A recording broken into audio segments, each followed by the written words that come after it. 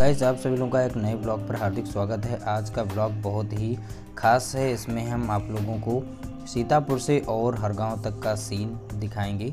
ये राइड पर ही डिपेंड करता है और राइडिंग में आप लोगों को दिखाएँगे और तरह तरह के सीन नेचर के देखने को मिलेंगे।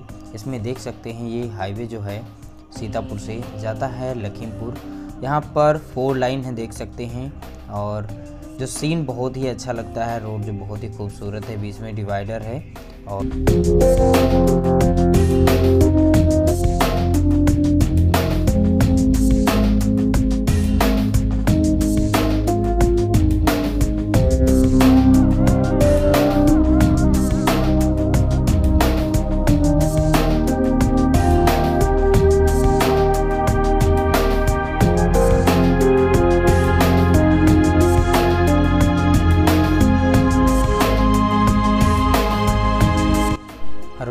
मेला चल रहा है कार्तिक पूर्णिमा में, जो मेला लगता है लगभग 20 दिन का तो 11 तारीख से स्टार्ट हो चुका है।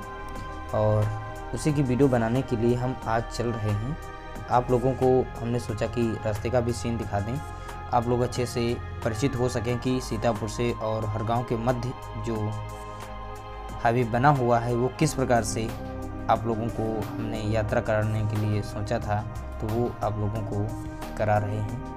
और साथ में देख सकते हैं, विद्यालय जो भी मेन मेन चीज़ें पढ़ रही हैं, उनको भी आप लोगों को दिखाते हुए चलेंगे, जैसे यहाँ पर देख सकते हैं स्टडीबल पब्लिक स्कूल जो कि देख सकते हैं काफ़ी अच्छा और इंग्लिश मीडियम विद्यालय है ये।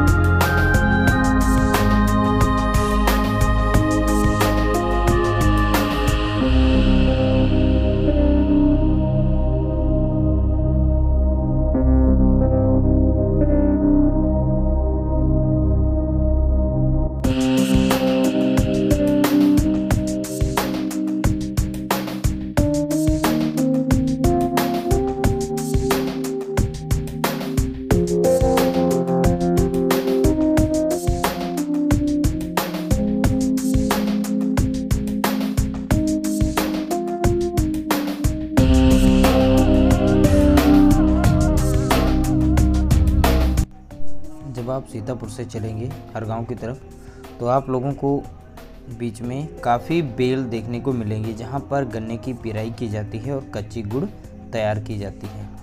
वो पड़ती हैं बेलें सबसे ज़्यादा अगर देखी जाएँ तो पड़ती हैं झरेखापुर। तो जब सीतापुर से लगभग चलेंगे 10 किलोमीटर रेंज पर झरेखापुर पड़ जाता है। तो झरेखापुर में काफ़ी बेलें हैं, साइड में देख सकते हैं, दाहिने साइड में दिखाई पड़ रही हैं। और यहाँ पर गन्ना काफ़ी मात्रा में आता है और पिराई कर कच्ची गुड़ तैयार की जाती है।